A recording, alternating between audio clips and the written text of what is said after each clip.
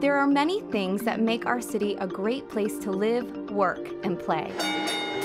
And now we have a new service that makes it easier to enjoy all Center City Charlotte has to offer. We are excited to introduce you to the CityLYNX Gold Line, Charlotte's new rail service, which provides a direct link to the heart of Uptown. The Gold Line connects you to bus and light rail services, healthcare facilities, entertainment, education, and small business districts that make up Charlotte's Center City come along as we talk about how to ride so that your experience on the Gold Line is fun, convenient, and safe. The CityLYNX Gold Line runs from Time Warner Cable Arena to Novant Presbyterian Medical Center.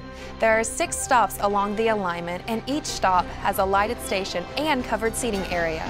There is also really cool public art in the glass at each station that honors the past of our Queen City while celebrating the present. One thing you may notice while riding is that some stops are located on the side of the street while others are in the median. Navigating and getting around easily is important to enjoy all Charlotte has to offer. CityLYNX Gold Line service runs every 15 to 20 minutes. Hours are Monday through Thursday from 6 a.m. to 11 p.m., Friday from 6 a.m. to midnight, Saturday from 8 a.m. to midnight, and Sunday from 9 a.m. to 7 p.m., making it easy to catch the Gold Line throughout the day. Also, this is a free service, so you do not need a ticket to ride. For your safety, cross the street only at designated crosswalks. After reaching your stop, always wait for the rail vehicle to continue on its way before crossing.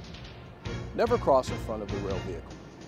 When waiting for the gold line, remember to stand behind the yellow textured warning strip. Always wait until the rail vehicles come to a complete stop before boarding or exiting the vehicle. Once inside, select your seat and enjoy the ride. I love riding my bike in this city, but with the rails in the middle of the street, I need to be extra careful. It's important to obey all signs and signals Cyclists should use the green bike boxes to make left-hand turns and always cross the tracks at 90 degree angles. Due to space, bicycles are not allowed on the Gold Line vehicles. There just isn't enough room. However, there are bike racks located near each stop. Remember to practice safety when riding near the CityLYNX Gold Line. At CATS, safety is our number one priority. The CityLYNX Gold Line runs on rails, just like the Blue Line but travels in the same lanes as other vehicles. This means the rail cars can't swerve for any reason. Always stay alert. Remember to keep a safe distance when following the Gold Line rail car because it can't stop as fast as a normal car or truck. Safety is everyone's responsibility.